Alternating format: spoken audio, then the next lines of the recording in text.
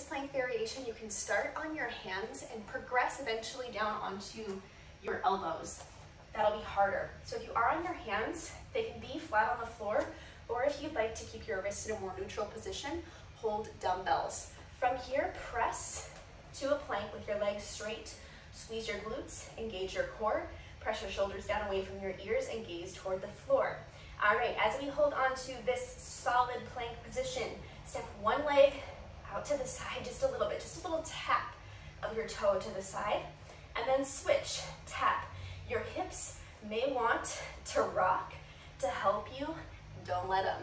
Think about having a stack of plates on your back, and if you were to rock, that stack of plates would fall. So really maintain that plank form. Now, as you get more and more comfortable with this exercise and the form down, you can take bigger steps out to the side.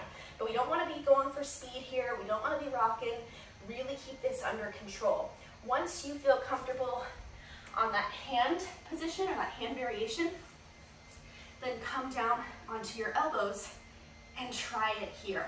I want you to find the combination of hand-arm position and the range of motion for your taps out that really challenges you, that also gives you the ability to progress as we keep going with this exercise.